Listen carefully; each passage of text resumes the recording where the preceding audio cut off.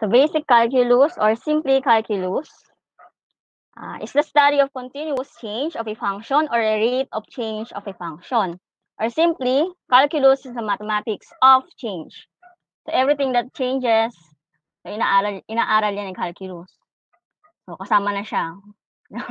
Nagbabago. Inaaral din ng calculus. Sama mo na yung kung sino mang nagbago sa inyo. Okay? So the word the word calculus is derived from the word or the Latin word calx mean which means stone or pebble. So ito kasi yung ginagamit nila ng mga ancient times sa pag-compute including the ab- abacus. And Greek word means chalice which means limestone. So yung limestone ito yung sa uh, ano nyo, 'di ba? Sa chemistry, yung calcium carbonate, naalala ko sa chemistry na chalk na binuhos doon sa Manila Bay. Yun, isang, example yun ng mga limestone or or tawag doon, calcium carbonate, yung mga dolomite. And then, meron tayong, uh, ito, yung mga founders. So, sina Sir Gottfried Wilhelm von Leibniz. Isa siyang uh, German mathematician and philosopher. And aside from that is Sir Isaac Newton. So, uh, common application of calculus. Ayan. So, first is, ayan, so meron tayong balloon. So, the volume of the sphere is simply B is equal to 4 over 3 pi r cubed. So, naalala na? So, the volume depends or relies dependently on its radius, right? And we all know that the the balloon is ano, uh, humuhupa, di ba? Or lumiliit as time goes by. Paano kaya natin malalaman yung kung gaano nakala kung gaano na siya kalaki at a certain time? 'Di ba lumiliit siya na lumiliit. Yan. So may balon kayong halimbawa birthday niyo, may balon kayo ngayon, and then kinabukasan makikita niyo, kapirantot na lang siya, 'di ba? Paano kaya natin malalaman kung gaano lang siya kal kalaki or kano na or ano na yung radius or diameter niya at a certain time? So, syempre, dahil nga meron na tayo na invento na si calculus, so yan, malalaman na natin yung radius niya at a certain time. So, dadaanan natin yung mga yan, dBdt equal to 4 pi r cubed. So, the change in volume with respect to time. Ayan. So, another common application is, ayan, si, kilala niyo ba yan? Siguro naman, sino bang hindi nakakakilala sa kanya, diba? Si Mang Tani. Siyempre, kung sa tingin nyo mahirap yung calculus, mas mahirap kapag walang calculus, siyempre. Kung walang calculus, hindi natin malalaman kung kailan mapapasok yung bagyo, di ba? Hindi tayo magiging alert sa ano kung hindi natin hindi dahil sa calculus. So, may application din ng calculus diyan. Kung gaano siya kabilis, kung gaano ka lakas yung hangin niya, 'di ba? So may calculus din diyan kung kailan siya lalabas ng Philippine Area of Responsibility, di ba? So, yun yung mga common applications niya. So, kung baka kasi iniisip niyo calculus, wala lang, pagpahirap lang yan. Yung mga application yan. Another is, ayan, ang walang katapos coronavirus. Ayan. Ba paano kaya na-apply dyan yung calculus? Siyempre, uh, kino-compute ni calculus kung yung growth rate niya, kung gaano ba siya kabilis dumami, 'di ba? So may calculus din diyan. Hindi niya lang uh, hindi niya lang feel, pero may calculus talaga diyan. And then kung gaano ba siya kabilis mapuksa kapag halimbawa nabakunahan na tayo. So, gusto niyo ba mabakunahan? Hmm? Ayun. Bakit?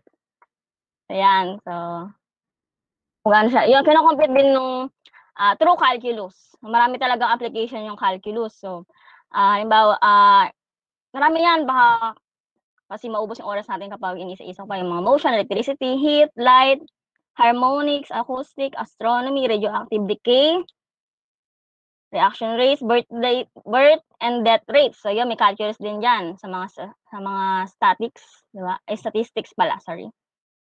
And mga revenue sa mga pera-pera, may calculus din dyan. So calculus focuses on these three main topics. So the limits, ayan.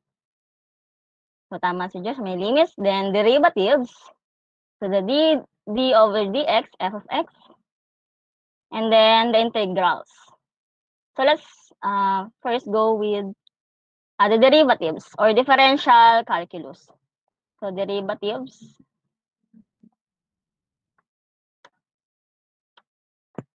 Ayan. Or ito yung natawag natin differential calculus. So, dito tayo magpo-focus within this sem. Or within this quarter pala. Differential calculus. So, yung d over dx, so we can also write it as f prime of x. So, itong differential calculus na to, calculates the slope of a curve. Slope of a curve. Ayan, slope of a curve. So, halimbawa, ah meron tayong straight line. Ayan, ano lang, nakunin ko na. Meron tayong straight line. So, paano kaya natin makuha yung slope niya? Di ba, ano lang yan? Simply rise over run. Di ba? Rise over run. Or the change in y over change in x, which is equal to m, di ba? Okay. So, paano naman kapag so, paano naman kapag ganito na yung curve natin? Ayan. Paano kapag ganyan na yung curve natin? Paano kaya natin malalaman yung ah, slope niya? Siyempre, dito sa straight line, kahit saan tayo mag ah, kahit saan tayo mag-evaluate ng slope, kahit dito or dito, or simula dito or dito. So still, yung curve niya is constant, di ba? Sa straight line. Pero pag sa curve na, pag naka-curve na yung ating graph, so iba na yung slope niya at different points. So iba yung slope ah slope dito sa point na to, and then iba rin yung slope dito sa point na to, di ba? So paano kaya natin malalaman 'yon? So halimbawa, ah halimbawa galing ka sa beach, di ba? Hmm. Halimbawa lang galing ka sa beach, and then siyempre may bundok, of course, hindi naman mawawala 'yan. And then 'yan. Yun yung araw. And then yung ulap. And then at a moment, naisipan mo mag ah, mag-emote. And then napatitig ka dito sa horizon na 'to, ayan, napatitig ka diyan. Siyempre dagat 'yan. Napatitig ka diyan. Habang nag-e-emote ka. So question, ano yung ah, horizon na 'yan? Is it straight line or a curve? Habang nag-e-emote ka, ano naobserbahan mo sa horizon na 'yan? Dito sa ito, sa horizon na 'to. Hmm. Ano, is it a straight line or a curve? Yung straight line po.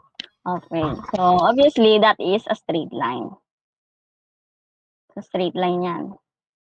But in actual world, so halimbawa, ah, halimbawa again, no, puro halimbawa tayo. Halimbawa naatasan ka ni NASA na pumunta sa Mars, 'di ba? So sumakay ka sa spacecraft and then naisipan mo mag-selfie-selfie. Siyempre, ikaw ba naman, makakapunta out of this world, makaalis sa mundong 'to, 'di ba? Siyempre mag-selfie-selfie ka para may remembrance ka. And then habang papaalis ka, ah, 'yun, naoobserbahan mo na yung ah, curve na 'yan habang ah, papalayo ka ng papalayo, yung curve na 'yan, halimbawa dito sa galing ka dito, galing ka nga diyan sa beach na 'yan, and then 'yun nga, ah, example lang naman, ah, na ah, naatasan ka na pupunta sa Mars and then 'yun nag-selfie-selfie ka habang or binidyohan mo na lang pala.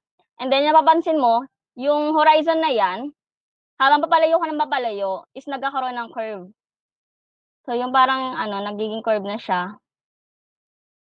And then eventually, siyempre makikita mo na yung Earth, 'di ba? Na na-imagine po ba? So 'di ba eventually, nakikita mo na yung mismong hugis ng Earth, 'di ba? So pabilog na siya. So pabilog pabilog na. So actually yung horizon na 'yan is a curve in actual world, 'di ba? yung naki nakikita niyong part na 'to na na nasa beach ka, parang isang part lang ng, ah, path ng Earth.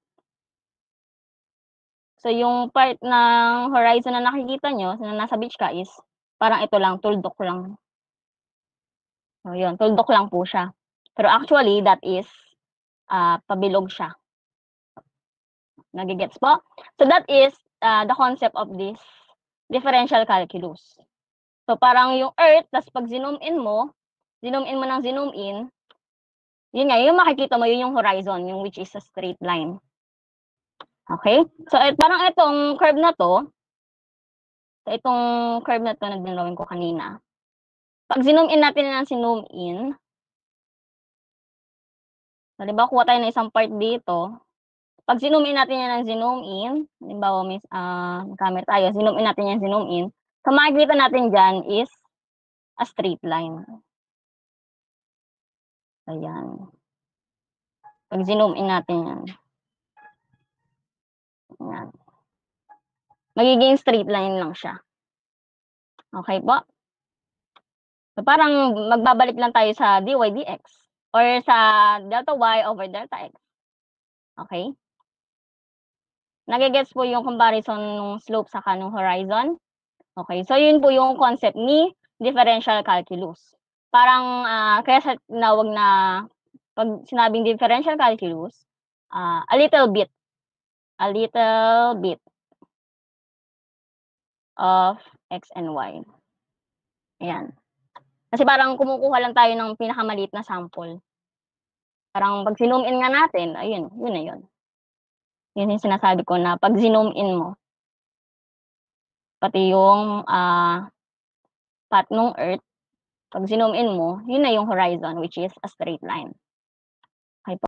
So, let's proceed with ayan, so integral calculus naman tayo. Or integrals integral calculus. Ito naman, ah, next ano pa 'to, next quarter pa. So, actually may ang calculus is divided into 4, ah, areas. Yun yung, um, differential calculu calculus, integral calculus, then differential equations, so siguro sa college niyo pa yun, and then yung isa is calculus of variation. So, yung since basic lang naman tayo, basic calculus, integrals and differentials lang tayo. So, ito naman calculates areas under the curve, under the curve. So, ano bang area, ah, for a square? Anong area? Formula for the area. S squared po. Squared. Okay, S squared. So, yan ang S. So, S squared. How about the triangle? So, 1/2 area. PH po. 1/2 PH. So, how about if we are given this, ah, weird shape? Ayan. Yan. So, paano nga natin mako-compute yung shape? Ay, yung shape, yung area ng shape na 'to? 'Di ba? So, how are we going to compute for this area? For its area pala. So, diyan na papasok si integral calculus. So, si integral integral calculus it computes for the area under this curve. For this curve. So, ito yung magiging curve natin. Yan. Or area above the x-axis. Concept niyan is hahati-hatiin niya into tiny strips 'tong ah, weird shape na 'to or indefinite shape na 'to. So, calculates the areas of irregular shape. Irregular or indefinite or mga mga weird shapes. Mga weird shapes. And then, tiny strips and pa parang gagawin natin siyang rectangles. Kita ba yung rec pagka-rectangular nila? Ayan. Yan. So, mas ma mas tinier yung strips, mas accurate ah, mas accurate or mas ah, ah, mas maganda yung approximation nung area. Kasi kukunin natin yung area nung bawat strips. So, yung strip 1 is maybe the delta x1, then yung itong second strip na 'to delta x2, and so on. Delta x, ah, n, 'yan. And then yung length naman niya kung gaano siya kataas is etong graph. Which is the f of x. So, yung magiging, ah halimbawa ito yung curve natin. Ito yung curve natin. Kukuha lang tayo ng isang strip. Ayan. So, dapat mas ma mas manipis yung strip, mas maganda. Kasi meron tayong magiging gap niyan, eh. So, dito ito yung magiging gap. So, kapag mas manipis, mas ma-o-occupy natin yung, ah, gap na yun. Okey po? Ayan. So, kumuha tayo ng isang strip, isang sample ng strip. Kukunin natin yung area na 'yan. So, that is the delta x. So, delta x is ito yung width niya, and then yung height naman niya height niya is itong f of x nga, yung sinasabi ko. 'Yan. So, para makuha yung area ah, area nung strip so, delta x times f of x. And then siyempre isang strip lang 'yan. So, sa integral calculus isa-summation natin lahat nung tiny strips na 'yon. So, sum sum i-sum natin lahat para makuha natin yung pinaka-area nung, ah, irregular shape na 'yon. So, hindi na tayo maggo-go deeper diyan kasi next quarter pa naman 'yan. Maubos na ang ating time. Okay? So, for now, for the day, so we'll be focusing on this topic. So, the limit. Limit sa, ah, basic calculus. So, limit, so puwede natin siya mai-compare sa concept nung kapag gusto mong umattend ng concert, 'di ba? Halimbawa, magko-concert si Blackpink, o 'yan nag-chat ka na sa GC nangangatal pa, "Oh, concert oh, punta tayong concert," 'di ba? Attend tayo ng concert Blackpink, so siyempre nag-ii nag-aano na kayo, nag chat-chat-chat na kayo kung saan kayo uupo, kung sa VIP ba, sa Patron, sa Gen-Ad. So, siyempre ah, mas malapit sa VIP 'yun, mas maganda yung view, 'di ba? Mas maganda yung view. And then kung medyo, ah, kinulang yung pera mo sa Patron, and then upper box, then lower box, 'di ba? And then kung nga halimbawa halimbawa, ah, kaka-Shopee mo hindi ka nakapag-ipon, sa Gen-Ad ka. Sa Gen-Ad ka napunta. 'Pag sa Gen-Ad, halos tuldok na lang yung makikita mo dun sa nagpe-performs pe-perform sa stage, 'di ba? So, question, so puwede ba tayo sa mismong stage? Hmm? So, parang parang stupid question, eh, 'no? So, obviously not, 'di ba? So, that is similar with the concept of limits. So, siyempre iniisip natin kapag nag ah, kapag nag ah, nag-announce ng concert, iniisip natin kung VIP, Gen-Ad, ganyan, 'di ba? Kung saan tayo uupo. Yung pinaka-view yung mismong iniisip natin, 'di ba? Hindi naman sa mismong stage kasi siyempre, obviously hindi naman puwede unless, ah, nagtawag yung Blackpink ng random people na na puwedeng, ah, mag-join sa kanila sa stage para kumta kumanta at sumayaw, 'di ba? Kaso parang hindi naman nangyayari 'yun. Ah, sa Paramore kapag nag ano, naga nagko-concert sila, nagtatawag si Hailey ng ano, ng random people tapos ayun bina binibigyan niya ng microphone and then pinapakanta niya ng isang verse ng kanta nila. So, wala lang, share ko lang. Ayun. So, 'yun lang nasa ang ano ko lang is 'yun yung limitation is dun sa stage mismo, 'di ba? Nage-gets si yung concept na 'yun? So, ang okey po. Ang iniisip natin is yung pinaka-seat, kung saan tayo papalapit ng papalapit dun sa mismong stage, hindi dun sa mismong stage, 'di ba? So, that is, ah, similar with the concept of limits. So, the limit of a function f of x is the value of it approaches as the value of x approaches a certain value. Okey, the limit of function is the value na ina-approach nung function as the value of x approaches a certain value. As x approaches a, the limit of f of x approaches L. Mercado 2016. This is written in symbols as follows. So the limit of the function f of x as x approaches c is equal to L. So, mer so yung ano natin, ang pinaka main goal natin is mahanap kung ano yung value na nag kung saang value nag-approach si function, si function as x is getting closer and closer to some value, some value of c. So ano ba yung magiging limit ng function natin as x getting closer and closer to the to the value of c. So the first thing we can do is to evaluate this function with the value of c. So yung c natin is itong uh, 5. Ito yung C, di ba? So, f of C or f of 5. So, ano kaya magiging value niya? Kapag in-evaluate natin yung limit or yung function with the value of C, which is 5.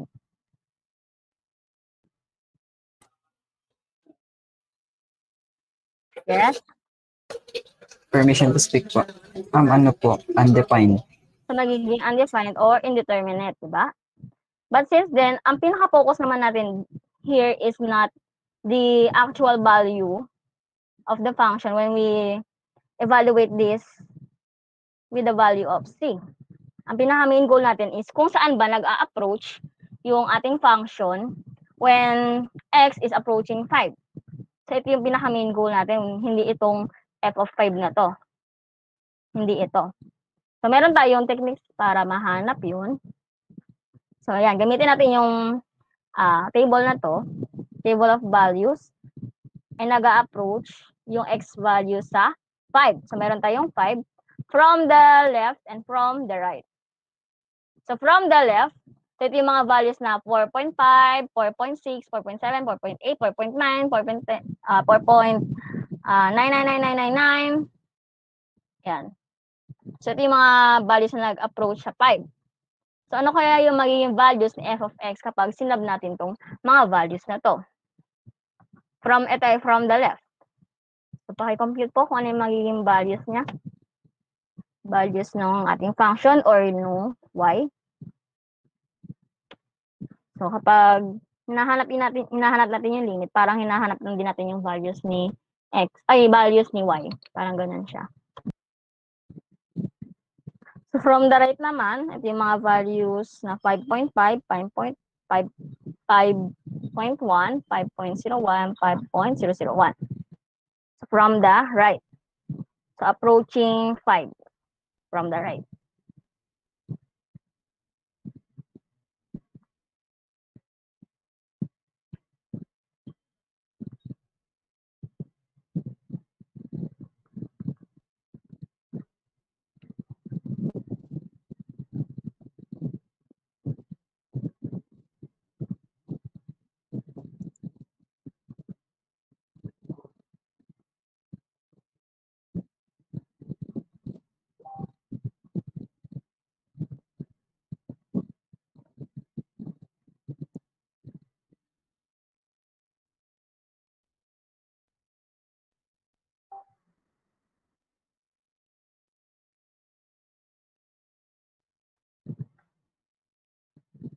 Hindi niya talaga kaya mag-open cam. Hindi ko kasi maano kung may kausap ba ako, wala eh. Baka para akong tanga nagsasalita dito eh. Ha? Ayun, pwede naman pala eh. Ano nakita ko kayo?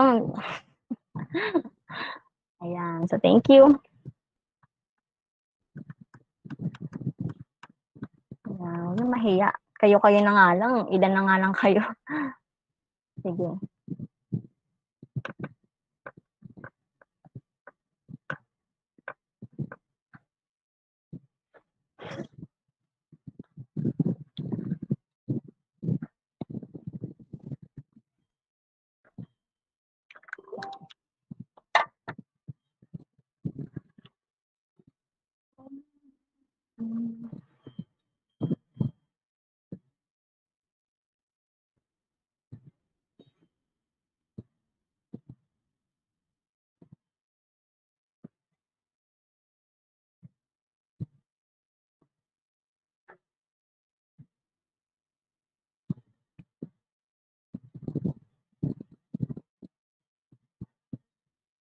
So, ano pong value ni f of x? Kapag ang x natin ay 4.5?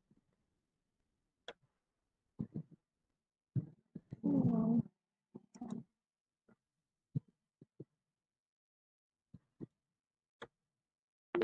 Ano po, ma'am? 9.5. 9.5. And then, sige, kompletuhin mo na. Ano po, ma'am?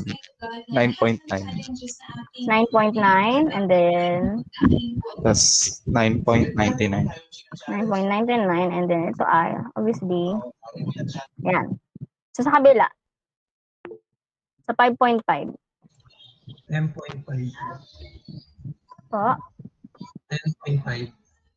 10.5 then 10.1.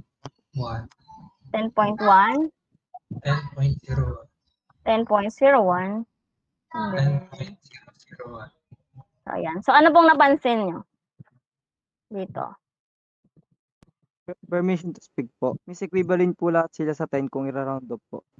So, kung uh, i-round off natin, so yung mga values ni f, f of x or ni y is parehong nag-approach sa 10.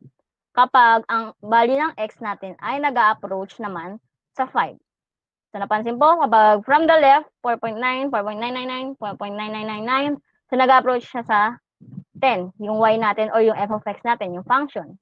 And as well as dito sa kabila, from the right side, kapag ang x natin is mapalapit na mapalapit sa 5 or sa ah, sa 5 yung value naman ng y natin or yung f of x natin is yan, nag-approach siya sa 10. So, kapag ganyan, equal ang value na ina-appro- ina-approach ni function from the from the right and from the left. So, from the right is 10 and also from the left is 10. So, pwede na nating i-declare na yung overall limit natin is equal to 10. So another solution for that, kapag nagiging, nagiging undefined yung ating values, kapag in-evaluate yung function with the value of c, is uh, uh, expand natin yung numerator. So x squared is x plus 5 times x minus 5. Ayan. So in-expand lang natin tong x squared minus 25 and then x minus 5. So, maka-cancel out na si x minus 5, ay matitira naman si x plus 5. And then, isa na natin itong 5 na to. So, 5 plus 5. So, yung limit natin is 10. Yan. So, 10. So, meron, ibig sabihin, meron tayong gap. So, ito yung ating graph ng ating function. Meron tayong gap dito. Meron tayong hole na tinatawag. Ayan. So, may hole tayo. At x is approaching 5. So, ito yung 5. And then, yung y values natin is approaching 10. So, from the right, so from the right, yan, and from the left. So, equal yung limit from the right and from the left. So, ibig sabihin, yun din yung ating overall limit. So, approaching sa sa 10 and from the right naman approaching din sa 10. So nakukuha po ba yung sa graph natin? So meron tayong hole dito. Hole or discontinuity na tinatawag. Discontinuity. Ma- Ma-encounter nyo naman yun sa next module niya. So another example, ayan, paki-answer po. Okay, so all of your answers are correct naman. So that is 2. So the limit of the function as as x approaches 0 is equal to 2. So magiging undefined yan. So kailangan muna nating i-evaluate yung numerator kasi magiging undefined kapag isinab natin yung 0 sa x. Diba? Yung bali po yung ginawa ko po dun sa main numerator po, since yung dalawang term po, meron po silang both x. Meron po Okay. silang x, kaya po tinanggal ko po yung x. Bali magiging x times the quantity of 3x plus 2 po. And then cancel po 3x. yung plus 2 po. And then cancel po yung x, pati po yung denominator.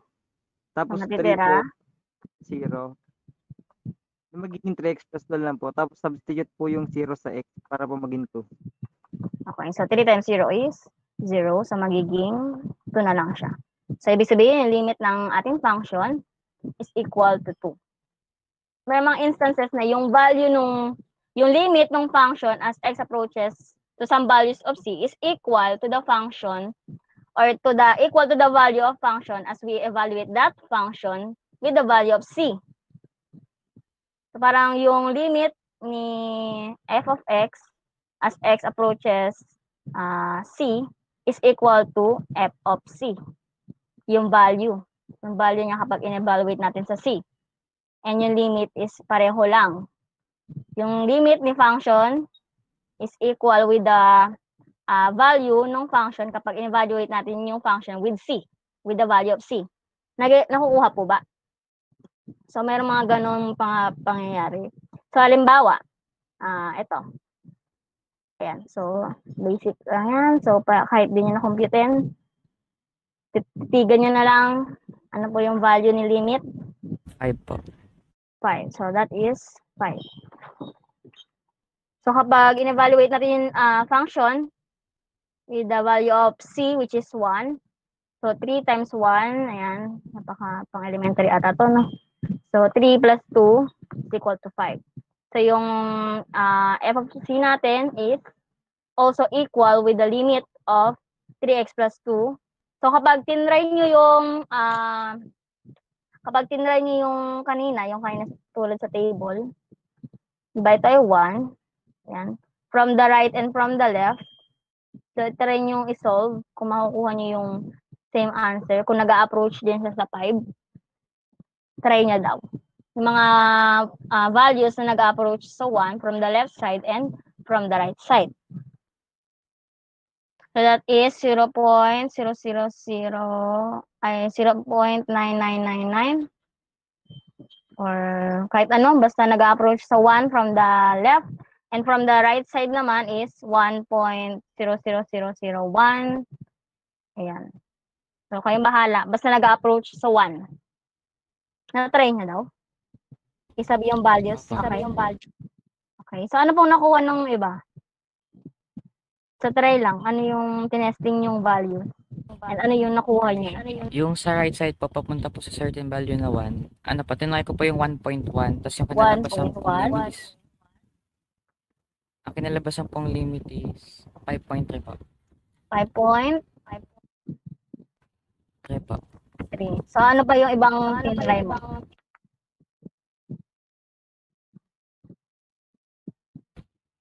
Ano po? 1.2 po. 1.2. So ano yung ano yung limit? 5.6 po yung nangyari. 5.6. So parang papalayo kasi ito. Kung nagsimula sa 1.1, tapos 1.2, and then ginawa mo 1.3, so parang mapalayo tayo. So dapat approaching 1 tayo. No? Okay. So may sino bang nag-try ng ibang values? Ah, so pag yan tinry niyo yung halimbawa 1.00001, sa mga kuha niyo diyan is 5.001. Sa mga kuha dyan is 5.0003. So, halimbawa naman kapag 0.9999, mm, 4.99997. So, still approaching siya or sila sa 5. Um, approximately equal to 5.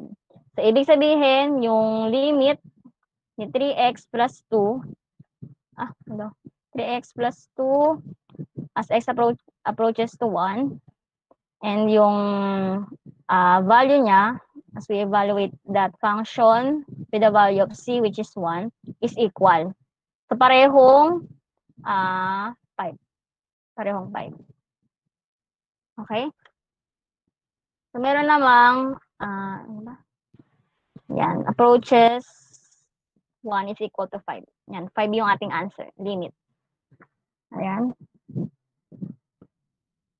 Ito naman, yan, pero pwede na tayo mag-direct sub since hindi, so ginagawa lang naman natin yung pag-evaluate ng numerator or yung pag-sub ng mga values na nag-approach sa C yung mga 1.00001, 1.009, or 0.9999 kapag nagiging undefined yung ating answer kapag in-evaluate natin yung function with the value of c. Pero kung alam niyo naman na hindi naman siya mag- magiging undefined, so pwede niyo nang i-direct sub yung value ng x or yung value ng c with the excess ng ating function. Direct, kumbaga, direct sub na lang. Kung alam niyo hindi magiging undefined, direct sub. So, paki-answer po itong limit ng 4x squared minus 3x plus 5. Paki-comment po ulit. As x approaches to 2, so f of 2 is, yan, 4 times 2 squared minus 3 times 2 plus 5. So, that is 15. Yan, sa number line, sa isip yun ng mga numbers approaching 2 from the right, from the left and from the right. Yan. So, nagkakataon lang na yung limit and then yung value ni function kapag in-evaluate natin sila is nag-equal. So, ganun. f of 2 equal to the limit of 4x squared minus 3x plus 5 as x approaches to 2. So, 15 is also equal to 15. So, coincidence lang na magkapareho sila ng limit and yung value. How about this one? Permission po. Does not exist po ba? Does not exist. So, okay, sa isa-isahin natin. So, unang step na pwede natin gawin, di ba? Ang kauna-unang ginagawa natin is direct sub. Direct sub. So, sinab natin as f of 1. Kaso, obviously, yung denominator niya is magiging 0, so magiging undefined. So, cross out na natin yan. Pangalawa is yung ah yung mga values na nag-approach sa 1. So, 0.99999. So, ang nakuha dito is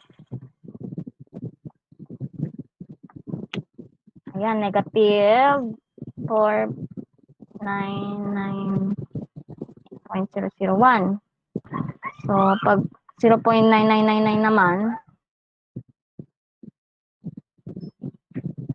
magiging negative 49995. So, napakalaki na. So, how about pag gawin nating 1.0001? So, 1.0001. So, nakuha naman dyan is 50005. So, paiba-iba. Napansin? Paiba-iba yung ano natin. Hindi, um, hindi, walang unity sa nakukuha natin kapag nag-approach sa 1 yung ating x. So, ibig sabihin, uh, from the right, so ito ay from the left, and ito ay from the right, di ba? So, iba yung mga nakuha natin dito sa dito. So, ibig sabihin, the limit does not exist. Kasi hindi pareho yung nakukuha natin limit from the left and from the right. So, sa left pa nga lang, iba-iba na yung nakukuha natin eh. Oh, 4.4995. Kasi ito naman, 499,995. So, dun pa lang, malaman nyo natin, it does not exist. So, yan. Does not exist po siya. Okay? So, one-sided limit. So, ito naman yung uh, the value of L as the X value gets closer and closer to a certain value of C from one side only. So, one side only lang, either from the left or from the right. So, in symbols, from the left side, so the limit of the function as X approaches C. So, meron tayong superscript dyan na negative kapag uh, from the left side, yung ina-approach natin function. And then, from the right side naman, meron tayong superscript na positive sa C natin. From the right side. So, example tayo. Yung mga example ko? Always remember that if the limit value from the left side is not equal to the limit value from the right side, then the limit does not exist. So, tulad din nakuha natin kanina, di ba? From the left side, ay for 4995, for 900, 4,000, or 499,000 yung nakuha natin. And then yung sa left side naman, right side naman is 500k at ano ba yun? 500k. So, 'di ba magkaiba yung nakukuha natin limit from the re- from the left and from the right side, 'di ba? So, ibig sabihin, yung limit natin ay does not exist. Yung overall. So, wala ito to. Wala to. So, yung overall limit natin is does not exist kapag mag-iba yung nakukuha nating limit from the right and from the left. So, kapag na, kapag yung ina-approach ng function natin from the left side and from the right side are not equal or different. So, does not exist po yun. So, example tayo, ah halimbawa, meron tayo ditong ah, whole, and then, ayan, tayong graph dyan. And then, meron tayo dito. So, ito ay ah, g of x. So, ano kaya yung limit ni g of x? g of x as x approaches positive 3 from the left. From the left. So, negative yan. From the left. So, ito ay 3. From the left. Punta doon. So, based dun sa graph natin, na straight line with a hole, ano yung magiging limit natin? Yung 4 po. 4. Okay, 4. Ah. so, from the right, ay, from the left, papunta tayo dito sa graph. And then, yung y value natin or yung f of x natin is approaching 4. Positive 4. Diba? How about yung from the right side naman? Limit of g of x as x approaches 3 from the right side. From the right side naman. Papunta dito. Yung x is approaching 3. So, saan nag approach yung ating function? Saan sa y, sa y axis? 4 din po, ma'am. Okay. So, 4 din. Very good. So, nag-approach siya from the left, ay from the right. Nag-approach din sa 4. So, 4. So, ano yung overall limit natin? As x approaches to 3. So, wala na tayong superscript dyan dahil overall limit na yung kailangan natin. Hmm? 4 po, ma'am. Okay, very good. So, 4 din. So, pareho tayo ng limit. Pareho ng limit from the left and the right. So, yun yung ating ah, overall limit. So, paano kapag tinanong naman yung f of 3? Pag tinanong, pag tinanong lang, ano yung value ni f of 3? 3 po. So, 3. So, ito yon yung whole na yan. Kap ay, whole tuloy. Ah, solid dot. Yan. So, sa 3, yung ano niya is 3 din. Yan. So, last example. And then, ah, ito na nga lang. So, ito ay ah, h of x. Yan. So, ano yung magiging limit ni h of x as x approaches negative 2 from the left. So, ano yung magiging limit niya? Negative 4 po. So, negative 4. So, yung function daw is, ay, yung x is nag-approach sa negative 2 from the left. Ayan. So, from the left. So, that is, eto, negative 4. How about yung limit ng h of x as x approaches negative 2 from the right? From the right naman. 3 po. Okay, 3. So, the limit is positive 3. So, nag-approach from the right. So, ito yung graph natin, di ba? Yan. So, obviously, hindi naman siya continuous dahil na, may na-break yung ating graph. So, nag-approach siya sa 3. So, ano yung overall? Limit of h of x as x approaches ah, negative 2. So, wala na tayong superscript na ah, sign dahil yan ay overall na. Ano po yung overall? Do not exist po. Ah, Okay, so very good. So, the limit does not exist. Dahil magkaiba yung ina-approach ng function from the left and from the right. So, from the left is negative 4, and then from the right is 3. So, hindi sila equal. So, it does not exist.